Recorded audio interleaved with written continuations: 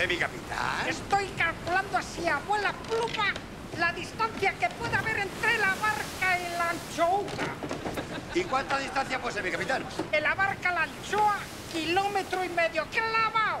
¡Kilómetro y medio! Sí, pero si de la barca a la anchoa hay kilómetro y medio de ida y de la anchoa a la barca kilómetro y medio de vuelta, en total son tres kilómetros hasta llegar a la anchoa.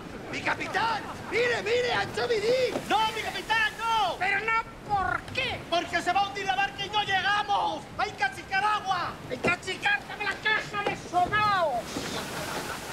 ¿Cómo? ¿Pero cómo la caja de sobao, mi capitán? Voy a achicar aguas. ¡Pero con una caja de sobaos!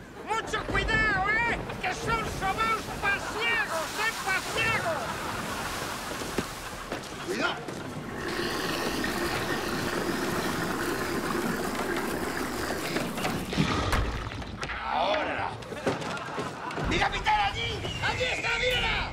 ¡Ahí está Ancho Vidí! ¡La anchoa mutante, la anchoa asesina! ¡La anchoa sinvergüenza! Y ahí pasa magra.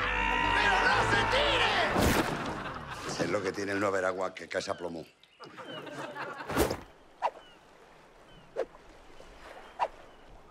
Vamos a ver, ¿esta es la anchoa mutante gigante tamaño movidí de la que me había hablado? Con las anchoas pasa lo mismo que con los presupuestos generales del Estado, que de lejos parecen algo, pero cuando los tienes en las manos se te quedan en nada.